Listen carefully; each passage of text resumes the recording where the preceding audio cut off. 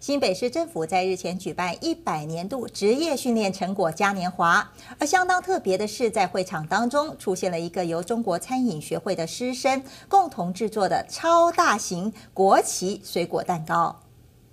新北市一百年度职业训练成果嘉年华中，最引人注目的就是由财团法人中国餐饮学会结训会员共同制作的两百二十寸超大型的国旗蛋糕。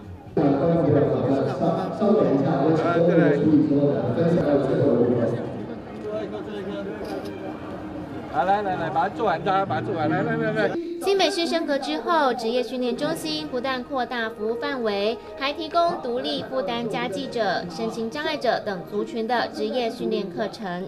现在针对于除了失业劳动以外，各项的，包括我们在职训练，包括我们的。譬如说，独立抚养家庭的，以及原住民等等各项族群的所有的在职训练，我们都做了很多的新的一个创新。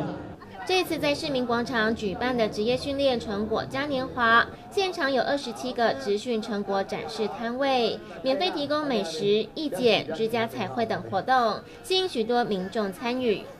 突然听新闻，沈志勇、林景瑜新北市采访报道。